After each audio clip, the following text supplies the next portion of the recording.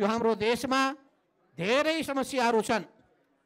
ती धेरै समस्याहरूमध्ये पहिलो समस्या के हो भने हामी सबै बन्नुपर्ने जति इमान्दार बनेका छैनौँ। हामी देश बनाउने भावनाले ओतप्रोत बनेका छैनौँ। हामी आफूलाई केन्द्रबिन्दुमा राख्ने गरेका छौँ।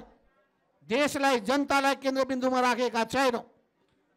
देशलाई केन्द्रबिन्दुमा राख्नु राख्यौँ भने देशको हितलाई केन्द्रबिन्दुमा राख्नुभयो भने, देशमाथि कुनै आँच आयो भने, राष्ट्रमाथि आँच आयो भने, नेपाली हाम्रो स्वतन्त्रतामा, स्वाधीनतामा, सार्वभौम सत्तामा, हाम्रो सम्मानमा कुनै किसिमले ठेस लाग्ने काम भयो भने नेपालीहरूलाई त्यो स्वीकार हुँदैन।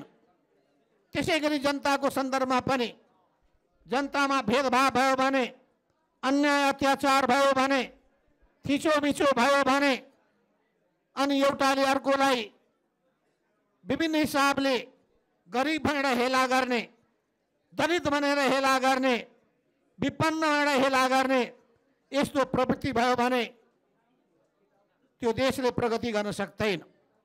त्यसो हुनाले हाम्रो देशको संविधान धेरै ठुलो मेहनत गरेर हामीले बनायौँ। त्यो संविधानमा अधिकारहरू हामीले थुप्रै दिएका छौँ। थुप्रै लेखिएको छ नेपालको संविधानमा। संसारको अरू देशको संविधान हेर्नुहोस्। र हाम्रो देशको संविधानलाई तुलना गरेर पढ्नुहोस्। तपाईँ पाउनुहुन्छ संविधानमा लेखिएका कुरामा कमी छैन। कमी छ भने लागू गर्ने कुरामा।